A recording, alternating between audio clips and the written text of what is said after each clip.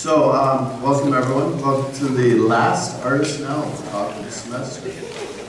Um, my, that went fast. Um, obviously, we still have a number of weeks to go for, for my course, but um, tonight is our last public lecture, and it all starts up again next fall with a full season. And spring's all set too.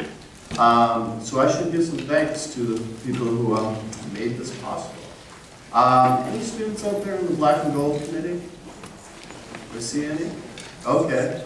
I see, I see uh, Corey. I don't recognize you without your, your, uh, your mustache and voice. Um, so, Black and Gold Committee is the student group that advocates for where differential tuitions money is going to be spent. And, and they talk to the Dean of the Peck School of the Arts and work with faculty and funding to, to advocate um, where this, is, this allotment of money is going to go to improve life on campus for students and various programs. And Black and Gold Committee a number of years ago said, we want a visiting artist lecture series. So that was a student-driven initiative that happened. So I guess our first round of applause has to go to the students. And uh, the of students shaping the university in ways they'd like to see it. They see something not happening. for instance, a great Visiting Arts lecture, they made it happen. So, so much respect to the students that uh, made that happen, the students that sit on black and gold today. Um, there's also a committee within the art and design department that oversees the Visiting Artist Series, Artists Now. Um, and that rotates over time, but some names to thank is uh, Ryan, Christine, Nathaniel. Am I missing anyone else from the current roster? So those folks uh, help. They, they ask the faculty to put forth names, and then they decide upon the roster, and a lot of hours goes into that decision-making process for this year and the following year. So a huge thanks and a round of applause to Ryan, Christine, and Nathaniel.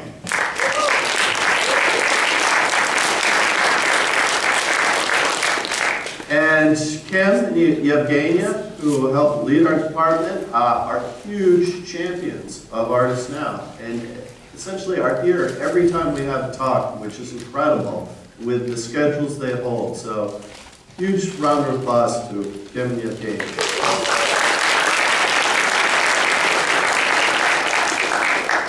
So a lot of work goes into it. So thanks everyone for making this happen. It's, it's truly an honor to teach this course and to see this incredible roster of artists come through. I was a visiting artist in Michigan on Monday and I came home sick as a dog. Um, so after our talk tonight, uh, Ibrahim and I are going to take cards. Because I was planning on doing the second half lecture with you from 8.45 to 9.30, but it's not happening. Round of applause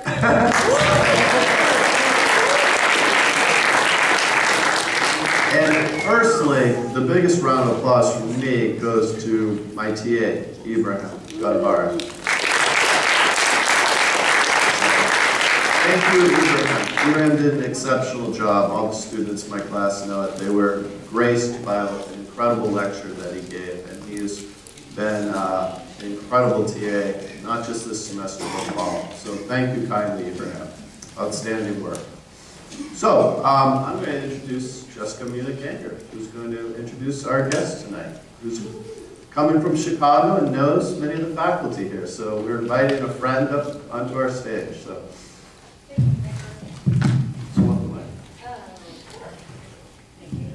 Yeah, I have a sonic boom voice, but. Um, I want to thank you all for coming tonight. Thank you, Nicholas, for providing this uh, opportunity. And I, I think this is a fantastic class, so you're all just so lucky to be made a good choice enrolling here. Um, I'd like to introduce Paul Catanese. He's a hybrid media artist, and I've been following him kind of like this, this fan. Uh, he's really active in the Southern Graphics um, International organization and provides many, serves on many panels, provides lots of lectures. So that's where I got hooked into his work. Um, and I've been following him and kind of a, a creepy fan. I, I attended, I wanted to attend all of, you know, he was presenting several at several different venues during this last conference in San Francisco. Some of the students who are in here attended that conference, and I got on the wrong bus and I just was devastated. But anyway, um, so I'm looking forward to his presentation tonight, uh, so I can catch up on what I missed out on in, in San Francisco. Um, he's the associate chair and associate professor in the Department of Interdisciplinary Arts at Columbia College in Chicago. Uh, his artwork has been exhibited widely, including the Whitney um, of American Art, the New Museum of Contemporary Art, San Francisco MoMA Artist Gallery, La Villette, and Stuttgart Film Center, among others. Paul is a recipient of numerous grants and awards, including commissions for the creation of artwork from turbulence.org as well as rhizome.org. And yes, he is a good friend to uh, a lot of the uh, faculty colleagues here at UWM, and I look forward to you know extending this conversation uh, later after the, the show and spending time with them. Um, I'm really interested in how he overlaps digital practices and traditional media, and I'm really looking forward to, to seeing his work and hearing has, what he has to say. So I'd like to invite Paul to the stage and welcome him to UWM.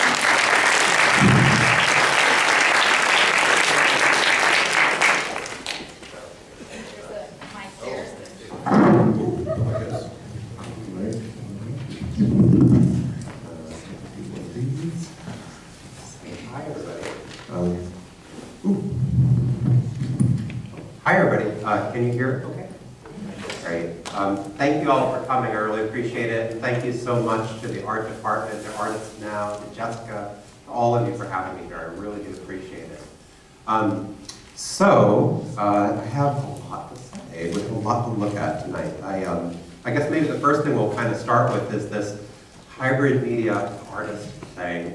Um, you know, it's, it's so tough uh, when you go to discussing your work uh, especially if you work with many different materials or processes. Um, and, uh, you know, I, I, for a long time I've been calling myself a hybrid media artist, and that's probably going to stick. Um, I've, I've really, a lot of times, talk about myself as an interdisciplinary artist, uh, multimodal artist. Uh, but, you know, it's, it's, it's a lot of times thinking about how um, concept first, material second. And so I, I feel like I, I move uh, like a planet, very fugitive in the sky, uh, between different materials very, very quickly. Uh, try not to be uh, too, too uh, worried about whether, uh, whether you know, whether I am a this or a that. in fact, in many ways, I have to say, um, perhaps, perhaps I'm even someday we'll get to that point where you, just, you can just start to drop all of the, the interdisciplinary, all the media, all of this, and, and really the, the one word, the most important that's always got to be left is just artist. And I think if we just, you know, just run with that, uh, I, th I, think it, it's, there's a great deal of freedom uh, to lose all the convenience of all the extra words. So I, I'll do hybrid media artist for you tonight just because that's what I've been using for at least 15, 16 years now, but uh, I, I, I just hope that's that becomes clear. So let's look at a whole bunch of work. And uh, chronologically speaking, we're just going to go backwards and forwards in time. So we're not, I'm not trying to do it in any particular order, though. We'll start uh, a while ago. Um, so uh, the first piece, uh, first body work I really want to kind of talk about is from kind of a while ago now. Uh, but I, I hope uh, it can give us some framing to think about this um, jumping back and forth and up and down and left and right, uh, in and out through media. Uh, this is a this is a project. Uh, the, the title is Displaced Reliquary. Uh, it's from 2004 2005. This is actually a commission for Rhizome, um, uh, which is uh, for those of you who don't know rhizome.org. It's definitely worth looking at. It's one of the largest place, places for supporters of net art, but it's, it's really grown well beyond that. Its, its roots as a, its grassroots, its grassroots roots, hmm, there's got to be a better way to say that. Uh, its grassroots beginnings, uh, you know, over 20 years ago, uh, was where became a forum and became a place for artists who were working with the net to see themselves as members of a community. Uh, and they've just exploded in terms of, you know, they, they, they have a formal affiliation with the New Museum in New York. Have this huge commissioning uh, program of which uh, this is part of that happens every year. And it's just, it's just a, a lovely, lovely, lovely um, organization. Anyway, so um, this, I was, between like 2003 and 2006 or so, I had been thinking about um, uh, a bunch of different things. For this body work, I was really thinking about the Game Boy Advance as a gaming appliance, and I wondered, I asked myself, um, could I approach this device pre-literate of games at all? Is this device, is this technology, which is so capable of being intimate, could it be used for other things? And so I was thinking about what was on my mind, at least when I came to this work, even though it's got some, some baggage that it may or may not overcome. Um, I was thinking a lot about what it would, might, might mean to create virtual artist books in these little tiny handheld curiosity cabinets. I was thinking about what is it, what might it mean to create little digital Cornell boxes. Um, and so this, this piece, of Misplaced Reliquary, was in response to a call from Rhizome uh, for, uh, they had a, they have a commissioning series, and that particular year they wanted people to make, uh, to respond to the notion of game art. And so I said, oh, this is perfect. Um, I too work with game, but uh, rather than thinking about game like um, video games or commenting on the culture of game, I really was curious about uh, my collection practice and the notion of game as in a hunt, uh, and the, the, objects that I hunt. And I, I, thought of this project where I could create a reliquary of these little animal saint-like bones kind of represented in this way.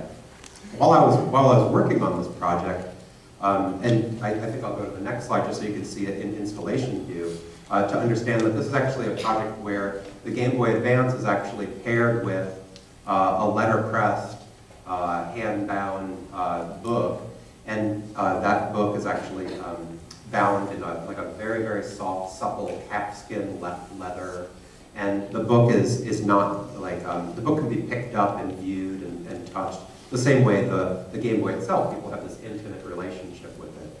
And so for this, this series, uh, intimacy is definitely a giant part of what I am thinking about. And in many of my works, um, there's, there's uh, one, one thread that I, I, will I'll poke at it each time I'm seeing it uh, to help us see it. Uh, one way to achieve intimacy is by creating, for, at least for me, is to create these, these small um, uh, objects that actually have their, where the physical materials are inviting and where they uh, hopefully slow down the heartbeat of the viewer and hopefully what they do is they create a very intimate space between you and the Game Boy, you and the book. There's something about both of those formats that I felt really spoke to one another. And I always really enjoyed watching people use this piece because regardless of whether they were familiar with um, the Game Boy and all of its cultural baggage and its background, you would see people just walk up to it, just like as, as easily as the book, just pick it up and kind of work through it. And there's something about that level of immediacy and intimacy which is really curious to me. Um, the, the book is actually uh, this, these little tales from the curator of the, of the reliquary talking about the objects in the book. It's actually, um, uh, it's actually the, the I don't know if I would say the trick of it is, uh, it's actually, um, for those of you who have done handmade books, uh, it's actually the same signature over and over and over again.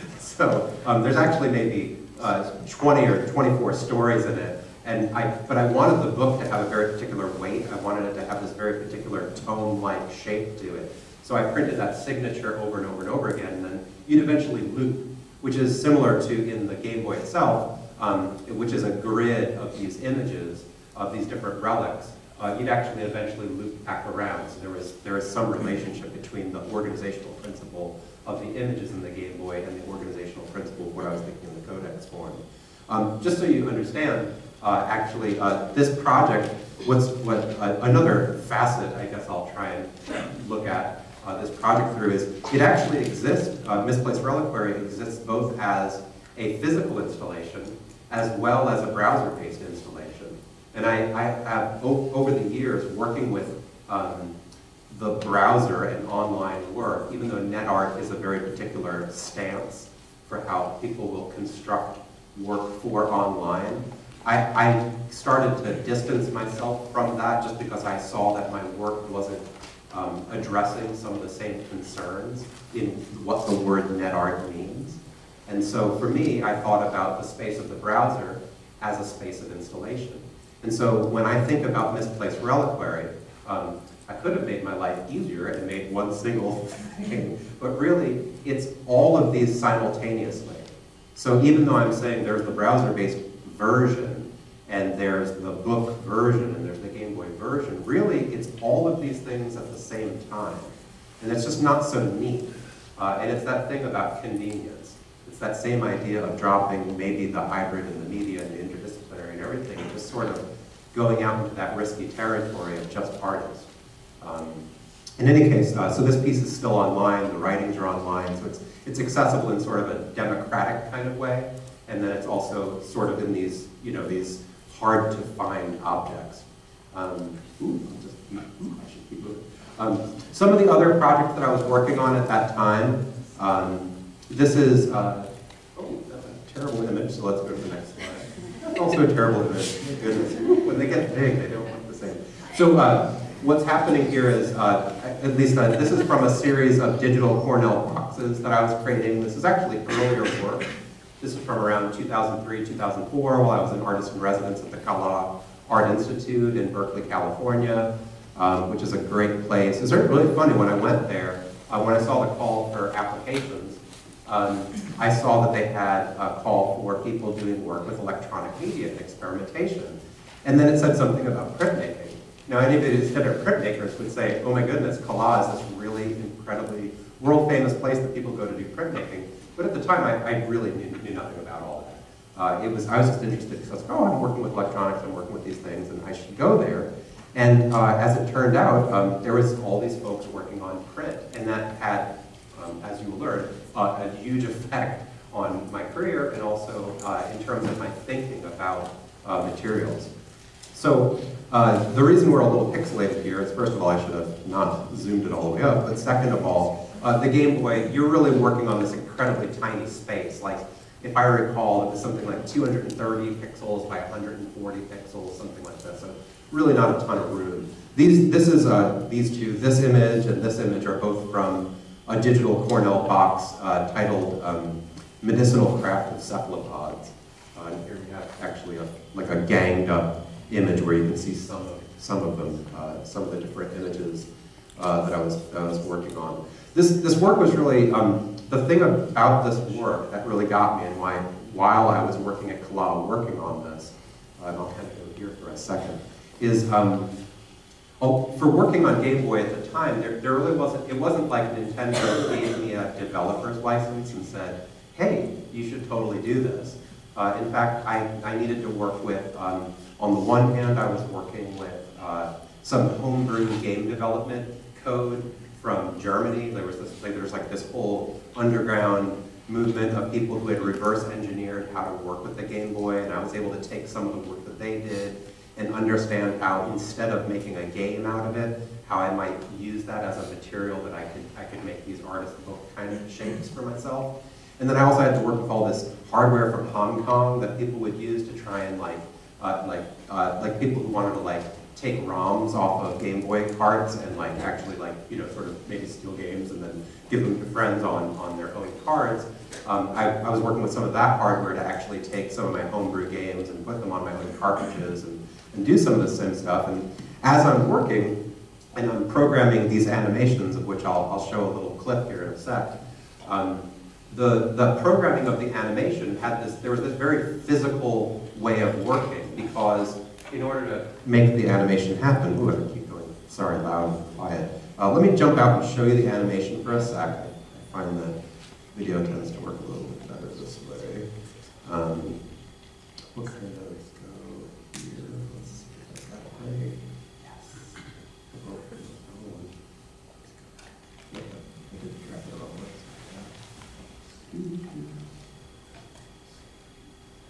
Yes. So just, I just want to show you the animation to make it make a little more sense. Um, and I'm not going to zoom it up, just so you can see how tiny this is. Uh, you kind of see some of these, these little details of the eyes and the way they move.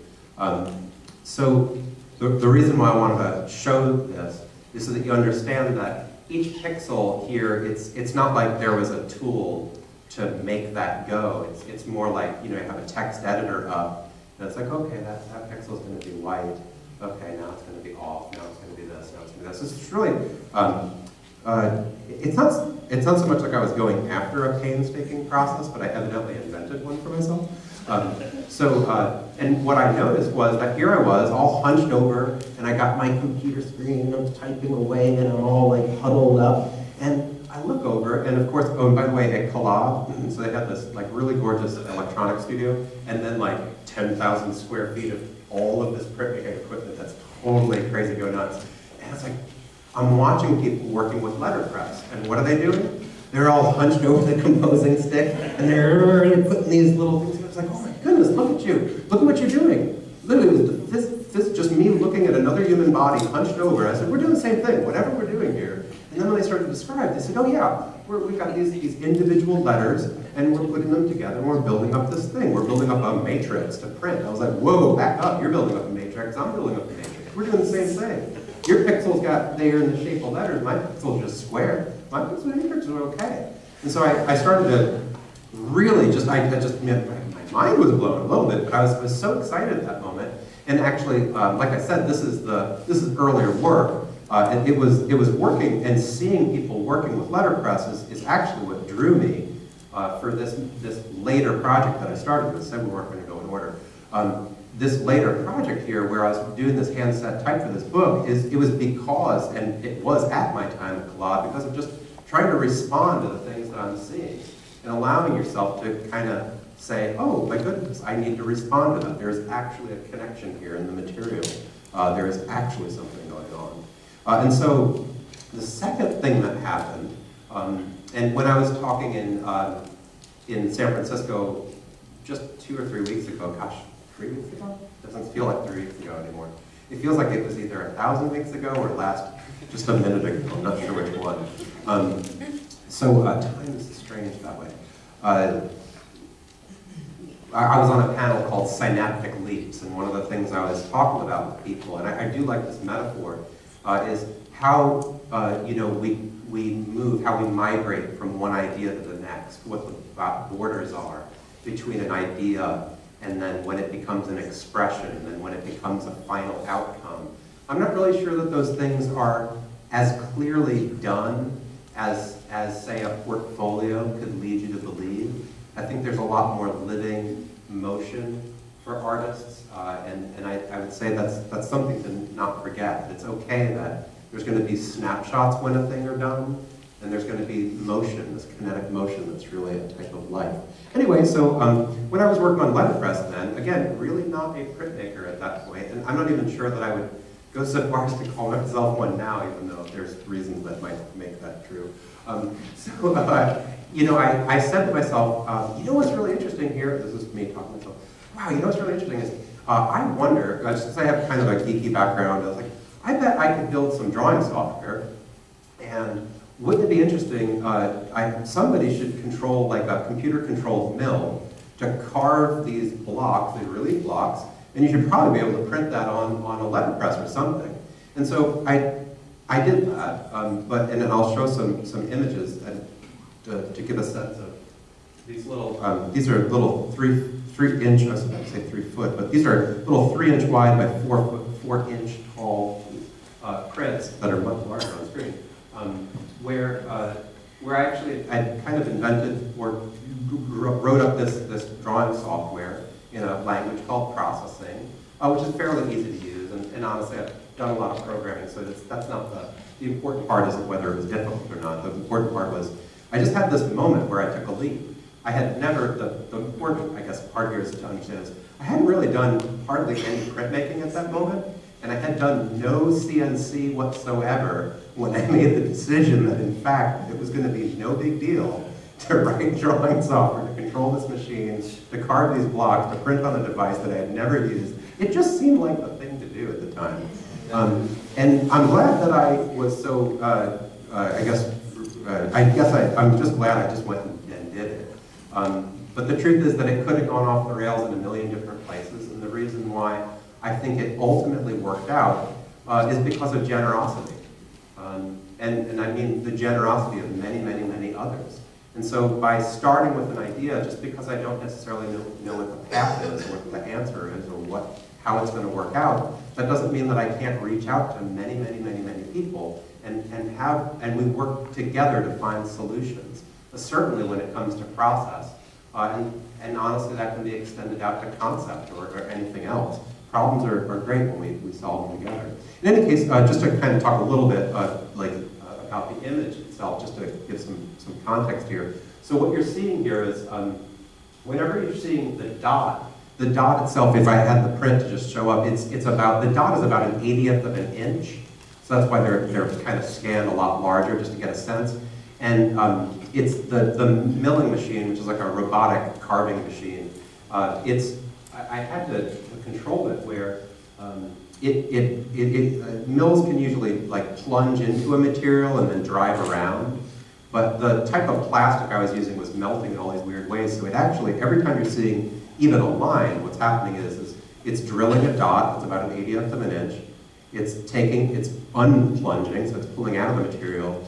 The mill's moving over to that, a little tiny bit, and then it's, it's drilling back down. And then it's doing that over and over and over and over and over again. So like a single block, even something kind of simple might be 16 or 18 hours worth of carving, because anytime you're seeing a solid line, um, it's actually been nibbled over and over and over and over and over again. Uh, I years later, I was I showed this I showed some of these pieces. Uh, oh, I should keep showing pieces. Um, I started showing some, and these are all relief printed on letterpress. Uh, I started I started showing these in some of the early, even earlier tests uh, at a at a talk at Bradley University years and years and years ago. And after the talk, a few people walked up to me and they said, "Gosh," they said. Uh, and they started talking in, let's just say, like deep CNC machine code geek, and I was like, "Whoa, I'm exposed. They know, they know way more than I know. Oh what's happening here?" And, and lo and behold, uh, just in this moment, they said, "You know what? We have a we have owned a machine shop for the past 35 years, and just in the last two or three years, we decided to start an artist residency program." And we'd love to get you out here again this summer and, and have you work with some of our master machinists. And I can't tell you how lucky I was that somebody, that this, this, these, these happenstances, these things kind of happen. You, when, you know, when you're on the path that you don't know where it ends, it, you just kind of gotta, gotta go for it a little bit. Um, here's another, another piece. These are again all these like three, three inch by uh, four inch blocks, kind of been ganged up the way I'm, I'm printing them. These are, by the way, just uh, these, this, the first series we are looking at here is from an aquifers series. The second series, which I created while I was in residence at the Prairie Center of the Arts in Bradley, uh, in Peoria, Illinois, um, these are much larger. The image area is about 20 inches by 20 inches. Again, the dot size is, is still the same. It's actually twinkling, which I kind of like, but that's, that's not what it actually does. Uh, it's just, just. Um, so uh, uh, in, in all of these particular works I'm showing you, the, the jumping off point for me about the drawings uh, and, and which feeds into some of the other work we'll look at tonight too, is um, I'm, I've been fascinated for years about the floaters in my eyes. I don't know if any of you have floaters. Uh, I do. Uh, they're these big chunks. Actually, for a long time, I, I, thought that I was the only person that had these, and then I started reading more and more and more about what that was. You know, so, so some people like uh, certain diseases will cause like uh, degeneration of the aqueous fluid in your eye, and like or the vitreous. Uh, and so for, for me, it's just, you know, there's like different structures that get built up in your eye when you're, when you're uh, being built in your in mother's womb. Like there's, there's like, uh, like your growth process, there's different structures that then fall apart and then just kind of float around in there. And I, I can, I can make out a lot of these. I, I've oftentimes thought of these as my personal constellations that I drag around with me. And everything I'm looking at, they kind of line up, sort of, sort of like this living Italo Calvino like sort of moment where it's like, oh, that must mean something lined up that way. And so this, this, these series of drawings are very much me trying to respond to this, um, this visual sort of artifact that I'm, I'm thinking about a, a great deal of the time. Uh, and so just, again, just, just kind of, that's, that's what this series, uh, the Celestial Workshops and the Aquifers series, again, these square ones are all uh, pretty big, 20 inch by 20 inch plates. And I was really uh, and, and I'll, I'll go out of my way again to say it, I was really lucky to have met up with the folks from the Prairie Center of the Arts because when I was working at four inches by three inches and it was taking 16 hours to carve one of these plates, to go up to 20 inches by 20 inches and, and you know, have to deal with issues of flatness in plane, like what does it mean to have a plate that's going to be flat in every dimension across 20 inches? Because the robots uh, that carve these, um, my robot that carve, uh, they, they really are precise. They're almost too precise uh, to a certain, so, so as the, if you can imagine the plane, the Z of your material, to me and you, it might be okay if it's 10 thousandths out between here and here, and that might actually be a problem for a, for a robot that can keep it, can keep the Z pretty flat. Anyway, uh, so uh, these, yeah, I, I, again, I really like the jittering. It's totally not in the work, but I could go with that. That's, that's really okay with me. So really thinking about um, these notions of, again, constellations, uh, the internal, the external, the idea of vision, uh, becoming image, uh, as opposed to the other way around, uh, or maybe both, who knows. Um, working this way, working with, um, working with CNC milling and printmaking, just sort of, at that time, definitely running by the seat of my pants and, and sort of, you know, bringing in a lot of collaborators to help me figure out how to make the materials do the thing I imagined they should be able to do, even though it didn't have to work out. Um, I started to ask a lot of questions of printmakers, and I said, gosh, who else is doing this, right? I'm not, there's no way that I came up with this idea. And at the time, when I first started asking, folks just, just there weren't really a whole lot of answers, and I, I just couldn't believe it. No, there's no way. I can't possibly be. And so, um, so actually I ended up, um, uh, this is a book then that I wrote uh, with uh, uh my collaborator, uh, Dr. Angela Geary, uh, this just came out in 2012. Um, I, am jumping here just because, in fact, there have been a lot of people, printmakers, diff different ateliers, some of them identified as printmakers, some of them identified as sculptors, some of them identified not at all with that world. And I, I thought it was just fascinating as I started to do the research to figure out who might be using um, CNC tools, so that could be things like laser cutters, routers, milling machines, water jet cutters. I was really thinking about subtractive processes, so machines that would take some block of something and remove pieces from it. Um, right now, we're definitely at a moment where you've probably heard a lot about uh, additive process machines, so 3D printers. Those are certainly ascendant, though they've been around 30, 35 years. That, that technology's been out for quite a long time. We're at this moment, of course, where affordability of those has made them very accessible. They're much more of a cultural object that you could talk to a lot of people about today, whereas 10 years ago, 3D printer, you, you might have to find someone, a specialist, who was aware of their existence or, or, or how they might be used. In any case, um, so why I, I, I bring up the, book, Post-Digital Printmaking, is um, for a few reasons. Uh, it's, it's first of all to tell you, you're, I, I hope you know, uh, you can't really tell where things are going to lead. Um, and, and, I think it's really important to both be confident to move forward and also recognize that um, uh, you have to kind of understand in yourself when you have a sense if it's working, whether that's conceptually or practically, or if you're working with a material and it seems like the zeitgeist is responding to it. You might not necessarily have all the answers, and you might still have to act. You will have to reflect on what you're doing as you're doing. But, you know, ultimately, um, I, I, wouldn't want energy to get st stunted by knowing or not knowing. Knowing can come through making and doing. And that's just as important as research and all the other modes that are important to use.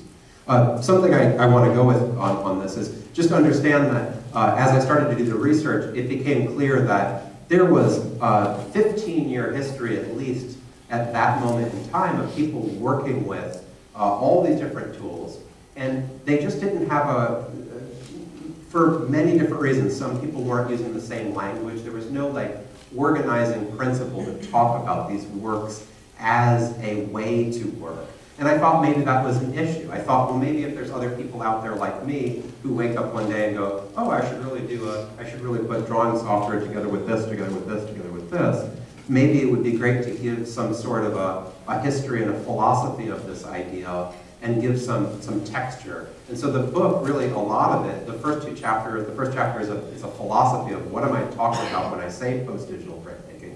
Second chapter dives into the history of many, many, many artists uh, and even industrial uh, artists and industrial machine tool makers who have been doing things with this idea, in my opinion, for over 150 years, let alone the connections that exist between what had been for a long time termed computer art, which is a term that really um, dates from around 1965 to say 1985 in that kind of range. There was a lot of folks working, uh, a lot of pioneering folks for the new media field who were working under the guise of something called computer art, who were also making a lot of works that fit into the same type of material um, uh, relationship between the screen space and the printed space.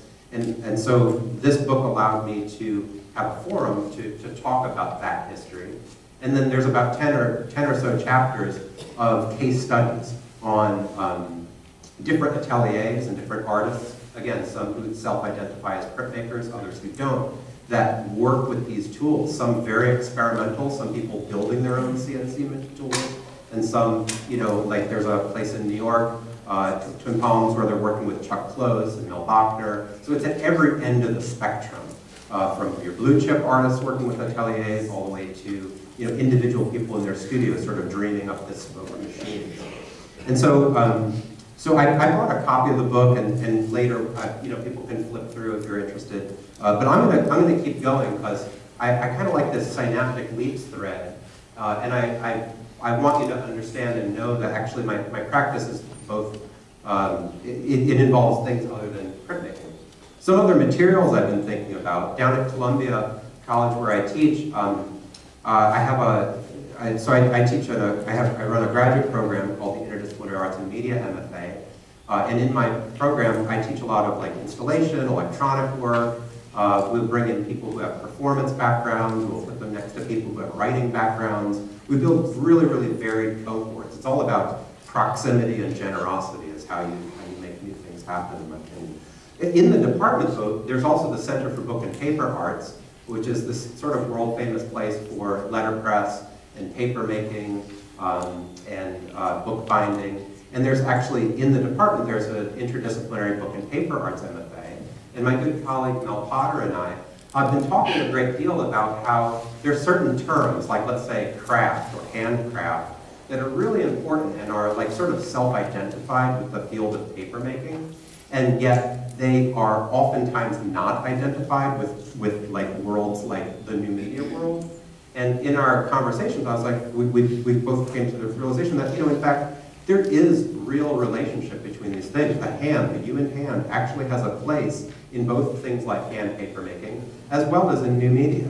And in new media, when I think about like um, handmade custom electronics, that's people working with handcraft in order to make, uh, you know, make outcomes that, that, that draw on, uh, uh, that, that not, it's not even a, a, stretch. People are working with handcraft. You, you could make that argument. Anyway, so we did, uh, and we've, we've been working for a number of years on this, this project we call Handmade and the idea here is to, um, the short answer is, uh, we've been thinking about what would it mean, first of all, to make handmade paper and you create uh, electronic, handmade electronic inclusions. So uh, with paper, if you make a single sheet, a very, very, very thin sheet, and then put something down, like let's say some handmade electronics, uh, let's say some EL-wire uh, cold neon technology, and then you take another very, very thin sheet of paper and put that on top of it, and then put that into the press. Uh, we've spent a lot of time figuring out what handmade electronics can survive uh, 6,000 psi press and then come out and after they dry out still be able to work. So here you have a handmade sheet of paper that actually has some EL-wire like emanating from within it. A different piece here is also using the EL-wire technology where we're using more of a EL panel where the whole entire panel lights up and this next image, I think, uh, gives a better sense of how here we're able to take the EL wire the light through the pulp so that the image, um, so that the paper has both an interior and exterior. So this is not a light uh, box behind it, it's actually the paper itself lights up when, well, when you plug it in. Um, we'd also been thinking a lot about pulp. Uh, another series of experiments where we were playing with, um, this is actually carbon, we were pulping carbon fiber, which is, carbon fiber is actually uh, conductive. Uh, we're working with also pulping like stainless steel and some other types of materials. Uh, and what's a little hard to see, although actually you can kind of see it, um, is here I've got my, uh, we've got our uh, paper, uh, and we've got a multimeter, so we've set on an ohm meter, a continuity meter, to figure out if we're able to, and, and here you can kind of see the needle showing you that in fact current is flowing between the two points of the multimeter here, where we, we built this sort of um, uh, conductive pulp for conductive paper. Uh, we, we, have ideas for how we might work with this, though. Uh, we realized that working with uh, pulped carbon fiber, which is basically like pulping fiberglass, uh, wasn't maybe the best idea. Uh, and so it was a very itchy day, very, very itchy day working on that. And so we're trying to figure out how to make our conductive pulp less toxic soon. Um, and again, this is not ink. We, we worked a little bit with conductive inks, but we were really curious about what does it mean for the conductivity to be part of the materiality of, of the, the paper pulp. Um, some of our EL-wire experiments, uh, this is actually uh, in San Antonio, we had a show uh, for uh, part of the Luminaria Festival uh, for, for a month. We were working again with, uh, on, the, on the left side, you can see some of Mel's, she, she's done a lot of research in the Georgian Republic, and she's thinking a lot about Tusheti rug patterns. Um, and over here, you kind of see some of, some of the pieces we made together uh, where I've been thinking again about some of these floaters in my eyes uh, and some, some of those, those same ideas but expressed then in this, in this other material, just kind of, oh okay, uh, just kind of showing, showing some of those handmade media thoughts. Some of the most recent things that we've been doing um, uh, with this handmade media idea uh, is, I'll have to show you in process where we're at, but here what you're seeing is um, these are tiny, uh, well they're about an inch and a half wide, these are tiny planar voice coils. And so what I mean is, um, these are actually uh, our attempt, uh, so a voice coil uh, is a uh, part of a speaker, like a, like a normal amplified speaker. And a lot of times a voice coil will be made cylindrical. And so voice coils, when you run power through them, like audio power, uh, audio power is bipolar. So it goes between like, let's just say negative one and one, even though it could be amplified different ways. Uh, and the voltage going through a voice coil will turn that into an electromagnet. And because the polarity of the voltage going through it is changing, the poles in the electromagnet are actually flipping back and forth. Now, if you have an electromagnet that's flipping back and forth, and then you have a fixed magnet fixed near that coil that's changing, well, sometimes, you know, if you got two north poles in a magnet near each other, they're going to push each other apart. If you've got a north and a south pole, they're going to pull each other together. Well, this is how a speaker works, by the way. Uh, so, uh, so that the, the, fixed magnet next to a changing magnet uh, allows the, the, the voice coil to vibrate very fast, so fast it's like the sound of a single hand clapping is the joke uh, like to make if you're a sound engineer. Uh, and moving so fast that it's actually moving the air and space, the air column. Anyway, uh, even though those are normally made um, in a cylinder, uh, you can make them flat.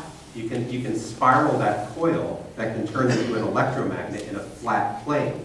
So what you're looking at here is actually each one of these is a little tiny voice coil. Um, and this, what we've been working on is an actually, it's an eight channel sheet of paper. Um, so here you see us actually taking those voice coils and, and what will end up happening is we'll be able to run sound, uh, run audio through this and have sort of a landscape kind of piece where I could move sound uh, from one section of the paper around. I don't have a finished one of these eight channel sheets to show you, but I can at least show you just visually what one of our single channel tests look like. So here you have a single audio channel that happens to have three voice coils. If I set little rare earth magnets below this, and run amplified sound through it, the whole thing is, is audible in a very quiet room. Uh, but with an eight-channel speaker, the idea would be that uh, people would could get up to, uh, to, to this, again, a landscape uh, to work through. Oh, okay, I'm doing like, okay, so uh, the next body of work I wanted to talk about a little bit is, is some of the installation work that I've, I've been doing for a series of years. Um, this body of work was very active, I'd say, between 2005 and 2012 or so, even though I've, I've got some studio experiments that I've, I've been thinking about where this will go next. Um, again, thinking about this notion of floaters in the eyes, uh, this, this body of work, uh, this one here is uh, towards a vast reservoir of comets, although there's, there's a number of names for each of the installations. Uh, I was thinking about how to use uh, overhead projectors to work with some of the objects that I collect uh, in, my, in my studio practice as a way to create these, um, uh, these collages in real time. And I was thinking a lot about the unfixed image. So here you have um, an overhead projector uh, being used to create, and, and, I'll just jump down to show you what the surface of one of them looks like. So here you can kind of see I'm working with these objects that I have, tons and tons of things that I've collected uh, where I'm thinking about certain, certain shapes both formally and then also um, conceptually what, where, where they're from. Um, to construct these images that are unfixed. It's, it's light, it's light and shadow. Uh, and uh, constructing these in, in space um, I'm also thinking a lot about, uh, in these installations, where I'm working with uh, giant, uh, I would say xerography, even though it's basically these, uh, I, have worked a lot with, uh, Océ makes these giant Xerox machines. Uh, and so above, on, on the ceiling, and here I've, I've kind of got the front view and the side view, it's this big 15 foot wide by maybe 38 foot long um, Xerox print uh, that hangs over the whole entire uh, installation space. And so for these, I'm, I'm really, and those, and the images on the xerographic prints, a lot of those are made where I'm working in the studio either with my scanner and treating it like a camera with a lot of the same objects, or I might be working with the overhead projector and taking pictures of that, and then working back in Photoshop and creating these, these kind of constructions. So there's fixed images and unfixed images, and in both cases I'm thinking about responding to this idea of the floaters in my eyes that make these constellations that walk around with me. Um, this is an earlier uh, iteration. This is at Washington State University uh, in Pullman, Washington. Uh, different view of that same space. Um, actually in the back corner you can see one of the large uh, xerographic prints. This is about maybe 15 foot wide by 20-ish foot high. I probably got the size exactly wrong, sorry.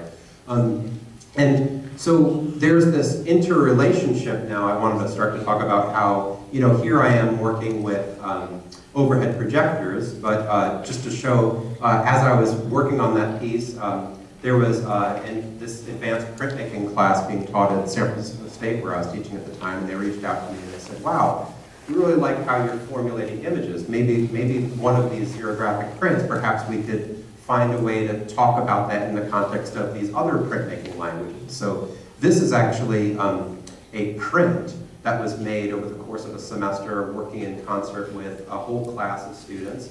Uh, and actually, so what, what they did was they took what was basically a flat, to me, a flattened Photoshop file that we flattened out, and we deconstructed it. So we, we took different parts, uh, and what you're actually looking at is, and I'll, I've got some details where you can see the differences between the colors, but what you're actually looking at is um, much of the, the very flat uh, black is actually a woodcut. So one person sat, uh, this is about 20 inches wide by uh, maybe 30 inches tall. So one person uh, sat the whole semester with with Dremel and, and carved everything that's the flat black. Everything that's not, where you're seeing kind of over here where it's that slightly more uh, uh, like gray kind of black, that's actually a, a litho. So we were trying to match up a litho with a woodcut with, um, with this gold stenciling that I was doing. And then over here, what you can kind of see is after we had put together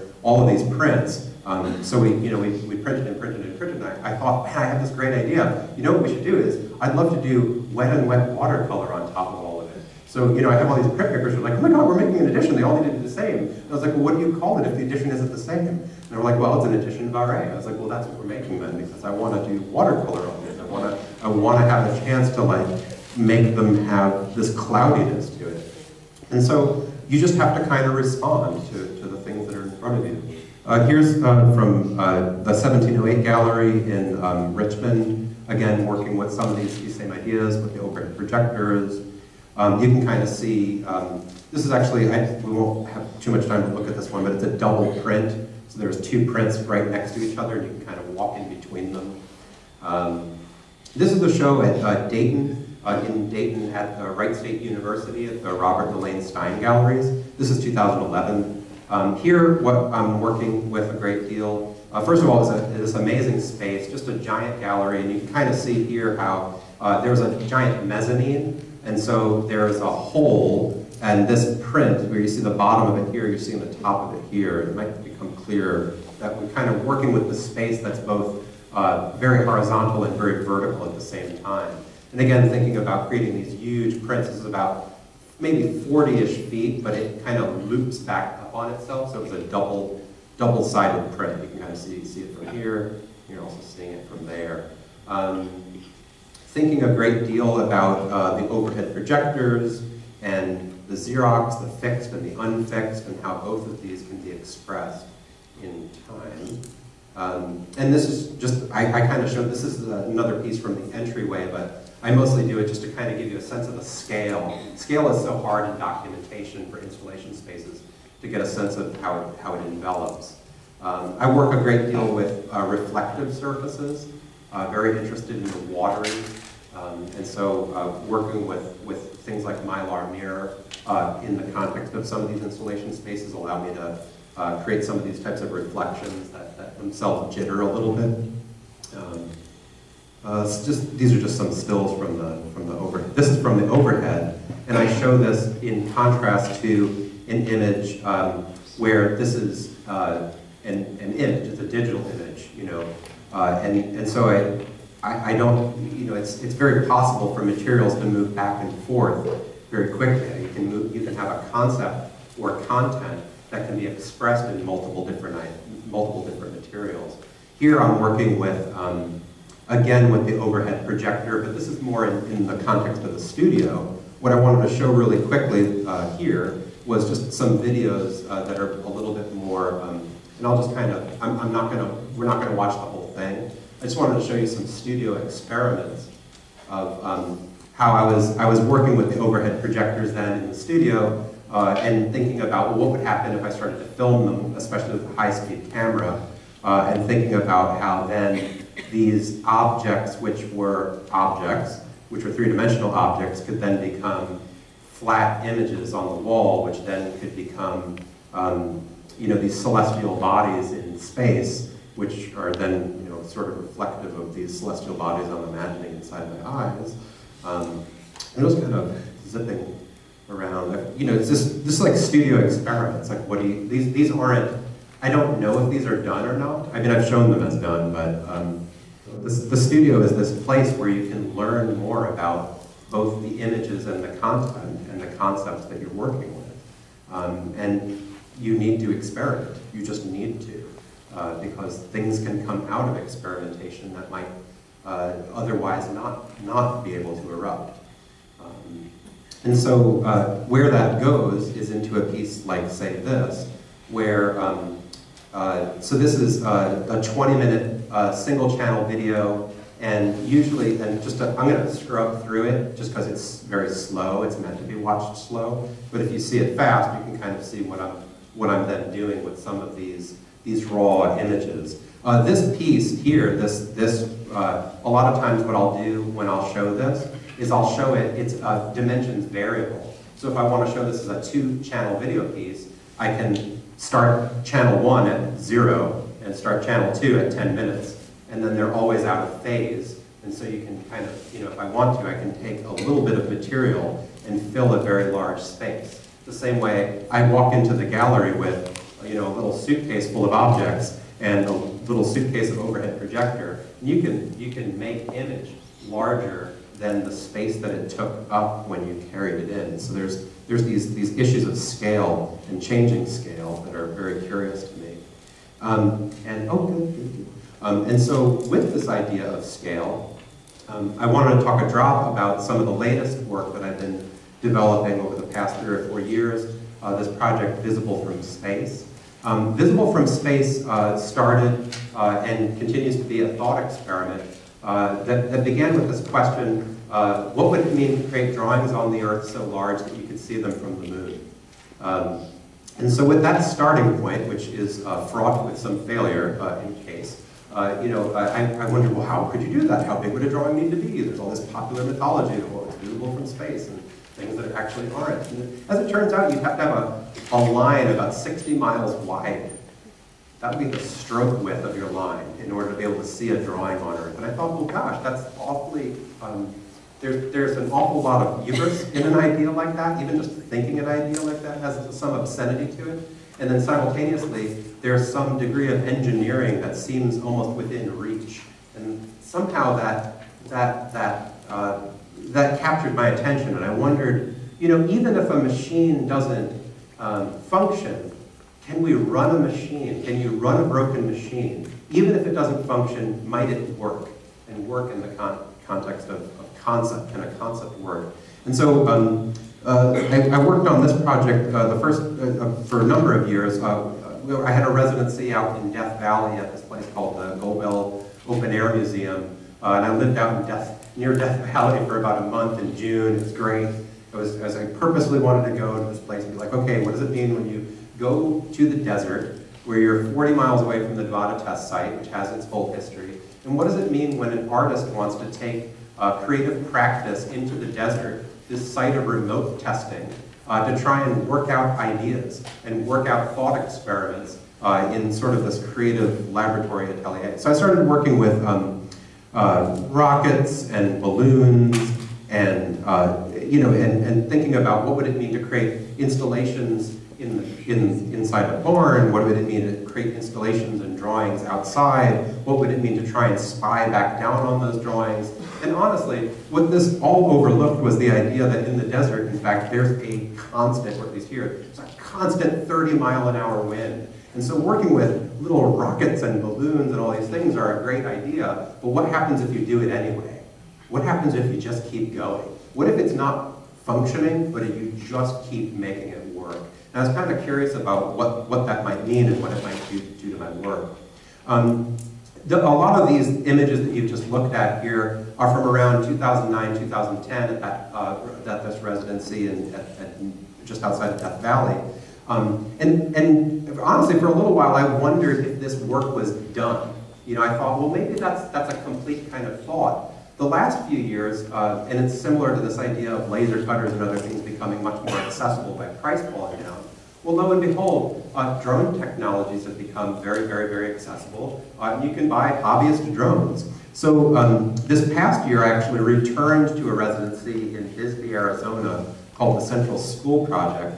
Um, and at the Central School Project, I started working with uh, thinking about how drones might provide me with a way to think about creating these spaces. So some of the pieces I'm going to show are um, from these experiments that I was doing in June of 2013, so just this, about a, not almost a year ago now, uh, from that period. So I'll, I'll, show some of these and then we can kind of go from there. Uh, so let's see, let's watch this. Actually, let's do it this way, sorry. Full screen. Yes. And this might be a little loud, but it's meant to be a little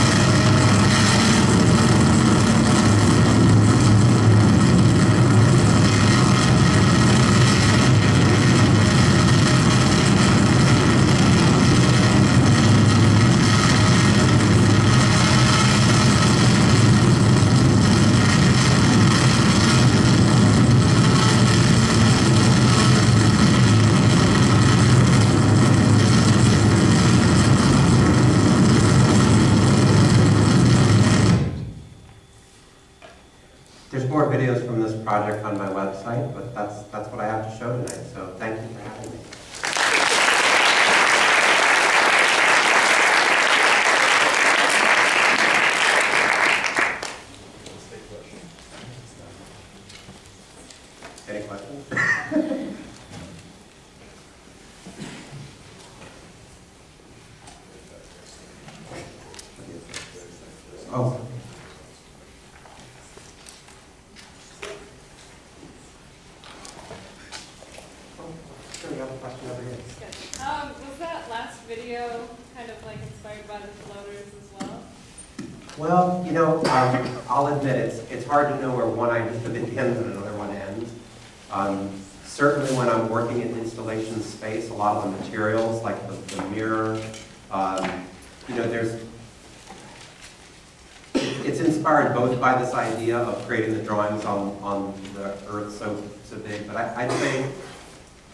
The are still in there. I mean, you're seeing some of the, like, the, you know, so hopefully you're starting to see like some of the live process video of the overhead projectors where I've been working with that and then thinking about, you know, putting that on the Pico and like flying it on the drone and having that be in the space, but it's, it's also about then these huge chalk drawings that we're kind of thinking through. So, um, yeah, even though I'm identifying it as visible from space, it's, it's hard to know where one body of work precisely ends and the other begins. And that idea, I guess, is, is just sort of with me. And you saw it in some of the prints, you saw it in some of the installation work. And so, short answer is, yeah, I think you are seeing that here as well. Yeah, Patrick.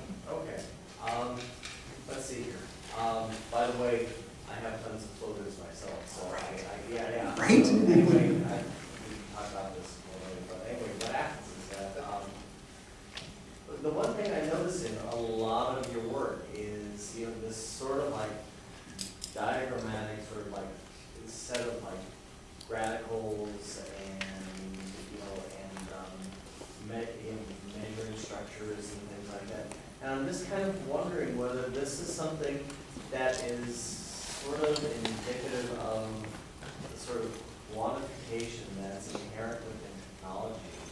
You know, just sort of expressing itself, of expressing itself. In other words, it's like, yeah, in other words, we, we, in, in many ways, those of us who work with technology, you know, often have like, you know, little scales or little, you know, things like that. And, you know, it's, I'm just wondering whether it's, you know, maybe just something that's incidental, like, like that, maybe like, like that, um, um, weather balloon shot, you know, you have the, the round and the little backhoe and, things like that. And it's just something I find curious.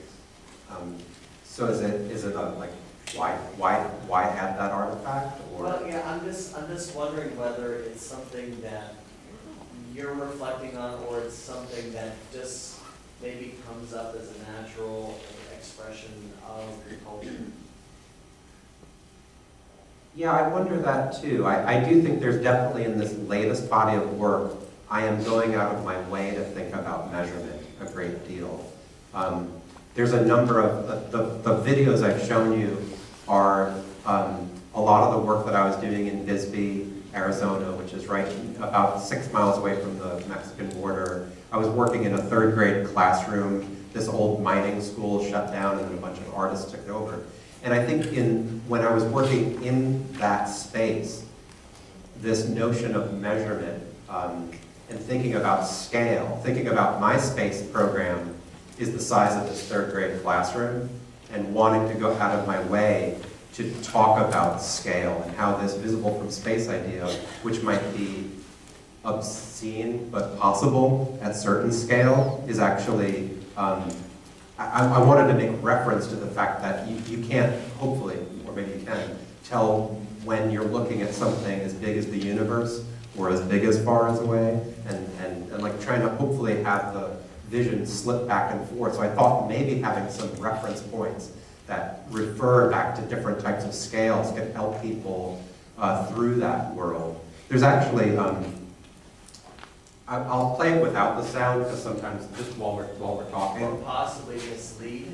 Yeah, or possibly mislead. Yeah. There's actually, um, some of these are just, are, are ex- experiments where I'm not totally sure where they're at, but I'll, I'll show, is this the one? Oh, but Yes. that's the best. So this is where I'm working, uh, also inside. So here again, with some of those, you know, I'll I'll just kind of, let- I wanted to go full screen, but again, thinking about some of those measurement devices and wondering like, do I leave them in the background, like, like, like they are in the pieces I showed first? Or do I make them these very, very active participants, these active props? Um, and I, I, for, for this body of experiments, I'm playing with, you know, I'm kind of going out of my way to have some that are black and white and some that are colored, just to demonstrate to others how I'm thinking about the space that they're creating. Um, some of these actually end up, uh, ooh, uh-oh, I didn't show the other one. But some of these end up, you know, um, not just inside, but, um, you know, some of them end up outside too, thinking about what, what that, that um, type of, you know, device then helps us think about out in the landscape. Um, you know, so I, so an- anyway, I, I don't know if this was your question, but I'm going to say it was. Uh, yes, measurement does have a lot to do with this project, uh, and certainly the scale of vision, uh, I, I think is, is something that's within the control. The way, what's the payload Oh, uh, DJI? It's about two and a half pounds, as you noticed, we did our test to figure out how much it could lift. It couldn't lift the 16-foot-long one, uh, but it's, uh, yeah, so I, I- so it's about two and a half pounds, uh, but we could talk more about what that does to your battery, uh, so. uh, Surely there are other questions. Well, you- I'm gonna go in the back, you have a question. Um, what was your like primary field of study in school? Oh, thanks, yeah, no, that's, um, so my undergraduate degree, uh, was in theater design, uh, so like lighting design, sound reinforcement, a little bit of directing. It's strange though, I, we were just having this conversation, I feel like I was just saying this to one of the classes I visited today. Actually, I, when I went to school, I actually went for philosophy, um, and, uh, it seemed so hands-off uh, that working in the theater was this, it was this magnetic pull. I, I had never actually worked in theater in any way, shape, or form. So it's kind of a theme uh, when I was in college, but I was really enjoying working on building sets and the type of uh, spectacles and, and things that I could, I could create. Uh, and so I started working there. And around, while I was there, I started doing all these research projects um, into, um, I was very curious, so I, was, I thought, well, I'm going to be a lighting designer. That is it. I'm going to be a lighting designer. I love this. And, and but at the same time, I was doing a lot of like uh, uh, geeky programming kind of things on my own. And I thought, wow, well, you know, what would be interesting is I wish I could actually make some kind of a, a visualization to pre, this is like early 90s. I was like, I wish I could pre-visualize my lighting design plot so that I could see what they're going to look like before. And right around that time, the whole ray tracing thing was exploding. But I didn't want to use ray tracing because that's photorealistic. I wanted to use this other totally geeky process called radiosity rendering, which is um, a it's a it's photometric, so you can actually measure the pixels. And like uh, art, uh, lighting, our architectural lighting guys would use it. And so I started learning all about radiosity rendering, and just you know you kind of go down a rabbit hole. I, I started realizing that my pre-visualizations were actually the done thing. I was like, I don't even need to, I don't even make, make it in space anymore. So I, I ended up going to grad school at SAIC in Chicago uh, for art and technology, even though I, I applied to the Time Arts program, and then it kind of disappeared uh, right as I got in. And they said, well, you know what, we think you should be in art and tech, and then I, I that sort of pulled, pulled me in that direction. So um, I would say I have always been interdisciplinary. I, I it's, it's, you know, I, I feel like I've always come from that point of view. Uh, I feel like the theater has certain metaphors of making, the idea that many diverse practices come together and that it's a collaborative process. And over the years, I, I feel affinity with other practices like new media, where that in fact is part of the ethos of the culture of making. And in fact, it's part of what reinforced when I started meeting and working with printmakers. In fact, the culture of printmaking is one where there's a great deal of collaborative process. Now, sometimes it's because of the tools, sometimes it's because of the history, sometimes it's just because of the expense, but um, I find there's a great deal of uh, reinforcement and amplification between these fields. And what's funny is I wonder, maybe they're all kind of a new media, and then maybe we can drop that term and just worry about making art, which is a good thing too. But great question. I'm sorry I got off topic maybe a little. Um, thought I saw a hand. Oh, Yeah, go ahead. You seem like a very energetic thinker. I was curious as to uh, what sort of organizing you do, your thoughts, or you know, do you write much? Uh, just all experimenting. Yeah, a little bit more about your process would be cool. Oh, sure, yeah, no problem. Um, so I would say that uh, being, uh, it's important to also reflect on the idea that I'm also a faculty member. And um, that puts pressures on different parts of your year that are, um, everybody responds differently to those types of pressures. I know some folks, some, some colleagues who are really good at like this sort of stratified layer where they're able to like For a half hour a day, they do this. For an hour a day, they do that. I- I'm more of a immerse in it and do something for a month and a half, and like it'll start to make sense to me kind of person. So during the year, I would say, like during the school year, I would say my studio practice is much more reflective. I'm writing a lot, um, I'm diagramming, I'm learning, you know, lots of new tools, some of which I might not use, whether it's programming languages or machine tools or whatever. Um, I'm doing a lot of sketchbook drawing. I'm doing a lot of imagining. And then uh, a lot of times I'll use my, my longer breaks, whether it's the summer or the winter, to, to work very heavily in the studio and, and immerse. Uh, just because for me, continuity helps me um, reach that state. And then through the year, I can kind of reflect. So like, you're seeing some of the experiments from Bisbee that I've, I've had a chance to kind of work through and edit into shapes that I can then give back to people. So I would say um, that's, that's how I would describe my, my studio practice. Yeah. So you wrote the book, and here, Right. um, it, it, you know, you're been around and sharing all these ideas and um, what you've learned with a lot of, of artists. And ha- have you, now that it's been out for a while, um, have you looked and, seen it put into action in ways that you could never imagine?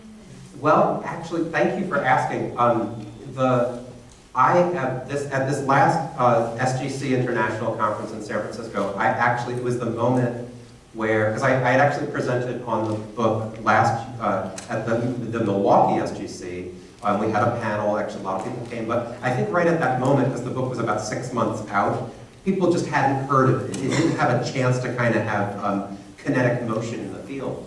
But at this last one in, in San Francisco, I was I was I was myself was stunned. I was like, oh my goodness, people are reading it. It's out there. It's out there in the world. People are, are, are commenting on it. They know they know what I'm doing. So I was I, so I think the short answer is yeah. I was really impressed that in fact this is I, I feel I feel comforted that in fact the field, a generous field by the way, has uh, is using the book to kind of um, coalesce around an idea.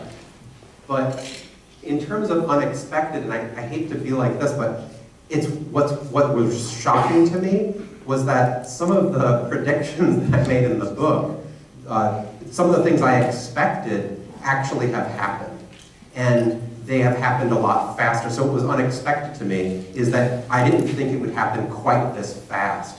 So one of the things I comment on in the book a lot is how plunging prices is going to lead to a radical rethinking of the printmaker studio, and I was kind of thinking in the next five to ten years. But the truth is, it's all over the place. I don't know that I could write the book now the way I wrote it then. Of course, that's probably always true, uh, partially because I wrote the book, so that probably has something to do with it. Anyway, um, uh, but I don't think I could write the book now because the field has has like it's a it's To say it's, it's awake to this idea.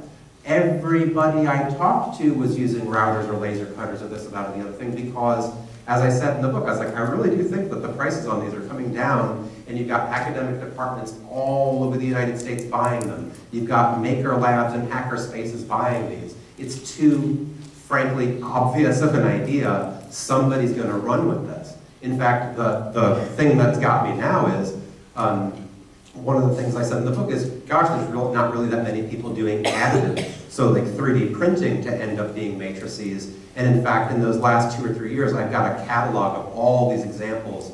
Um, there's, a, there's a really cool press down in, um, in Tallahassee uh, at, the, at uh, uh, Florida State University has the facility for arts research. It has this huge, like 80,000 square foot research building just for arts research, awesome. Um, and it's just filled with machine tools and this and that and the other thing. And uh, one of the things that they've been doing, uh, one of the, the facets of the Facility for Arts Research is the Small Craft Advisory Press.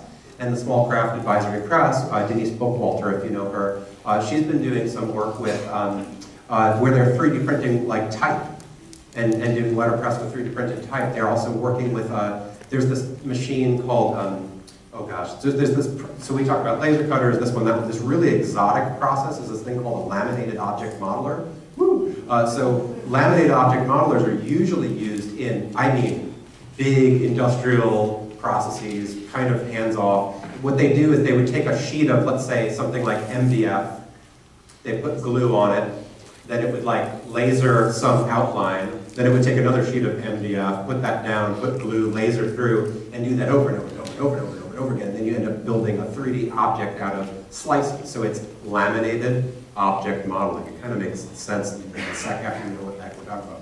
Well, there's a company out of uh, Scotland called Mcor, and they built, uh, they have, they built a machine, it's about forty or fifty thousand dollars, uh, which is really reasonable, and that will come down in price. Um, that, that uses copy paper. It does laminated object modeling on eight and a half by 11 sheets of paper and PVA glue. And so they've been using one of these to print, get this, so they're printing out of paper, I don't know what to call it, type, wood type? I guess it is wood type. Uh, so they're printing wood type out of laminated that they put back on the letterpress. And as they print it, it goes and goes and goes, and it starts to break down. And like the pages, the individual slices start to like separate. And so there's, there's new ways of making that are just eruptive. And that's an incredible moment to be a maker. It's, it's just an incredible moment. And so um, I think I'm, I didn't expect it to happen this fast. Would be, I, I assumed it would take years. So, and I guess it did, but I meant many more than, than just one or two. Yeah, in the back. Have a quick question about how you approach adopting a new technology into your practice. Do you go to it with kind of abandon and naivety, or do you research a ton and see what else is in the field, or is it a little bit of a bag? How do you approach that? Yeah, the, the short answer is it's a little bit of a mixed bag. Um, and I think it also relates to the, this other gentleman's question about what is your studio practice. So during the year, I'll be experimenting, and I mean like from the point of view of looking at and evaluating many, many, many, many technologies constantly. And so many of them, honestly, are, um, uh, I guess the, the negative way to put it would be, a lot of them are dead ends. A a slightly less negative way to put it would be, some of them aren't useful yet. Um, and so, uh, you know, and so I, to me, that's part of my research process is to constantly, frankly, keep up. And you know, it, it, ins- it inspires me. I, get one source of energy from looking at how things work. I'm very curious about how systems work, whether those are mechanical systems or material systems or software systems. Um, so, you know, at any given time, I might be trying to think through a few of these. And I don't always know if they're going to turn into things, right? So, like right now, I'm researching uh, how do blimps work, how much are blimps, where can I get a giant blimp? Um, uh, and I have some answers, so like blimps are coming. Um, and then, you know, I've been looking at like uh, uh, video analog synthesizers, been doing some work with those. I've been working with mechanical television, has been a side project. Um, I've been thinking a little bit about uh, lasers, like laser projectors for doing large outdoor, uh, you know, blimp control laser projection on landscape. But I don't know if that'll work out or not, but you have to, you have to start somewhere. Even if where you're starting is preposterous, um, and even if that's going to turn out to not work, like rockets in the desert with 30 mile an hour winds, um, you, you have to start somewhere and respond to the making even as it's going off the rails. So I suppose it's, um, when you said maybe it's a mixture of both, uh, it, I, I don't know if you were throwing that out to be like, oh, this will save you. The truth is it genuinely is a mixture of both. And I'm not sure where, it's such a mixture that I, you know, I don't know if mixture is the right word, maybe it's odd mixture. I'm not sure if, you know, is it, is it a suspen- suspension? I'm not sure where one idea begins or ends, but I know that everyday practice is, um, you know, it's where you, where you will find an energy source. And so during the year, everyday practice might be research and writing, and then action in the field, which is why a lot of these are called field experiments or field notes. Is in fact, that's what they are. They're reflections of taking the, the pretty diagram that says the system's going to work like this, and then what, is, what really happens. And I'm, I'm very curious about that, that sort of um, breakdown in tension.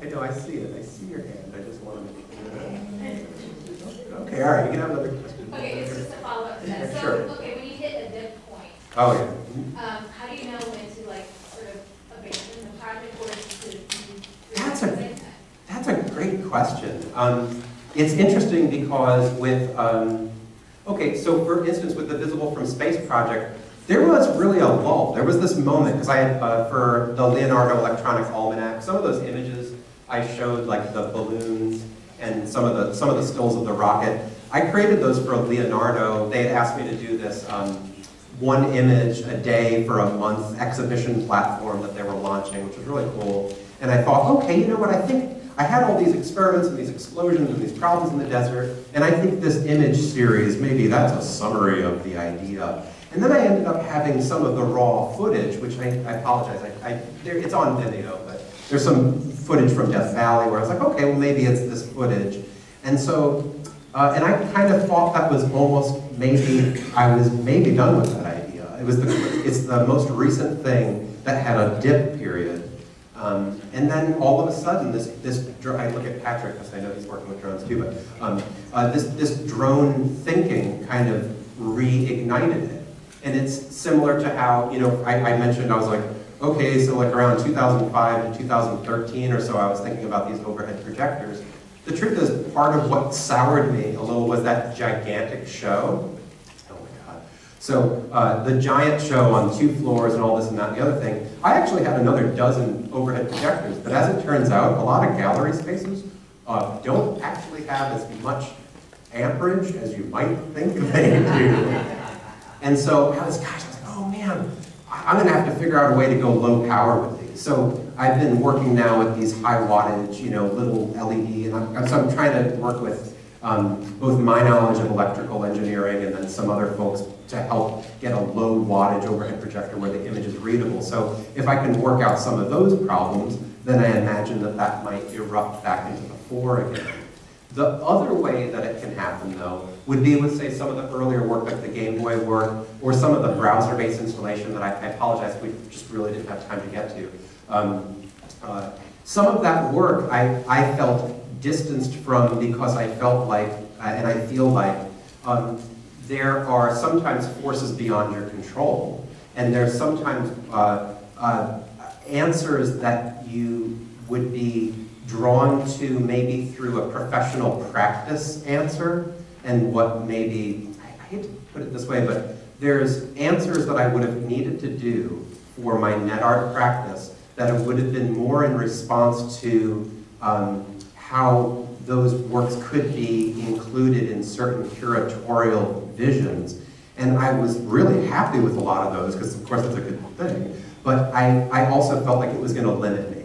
And so I would say that was a, a, a, dip that I decided to distance myself from very, very strategically from the professional practice side of my studio, just because I felt like it wouldn't allow me to do uh, and bring this, this slightly expanded vision of studio practice uh, to the fore.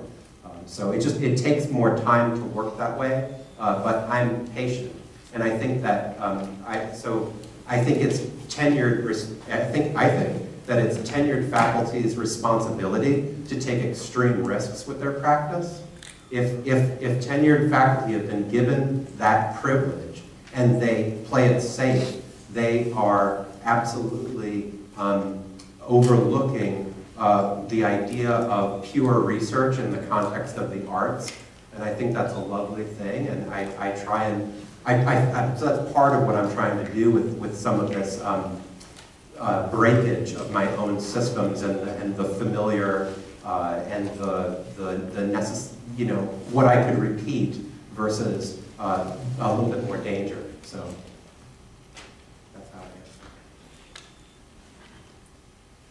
Any other questions? Okay, well, thank you all.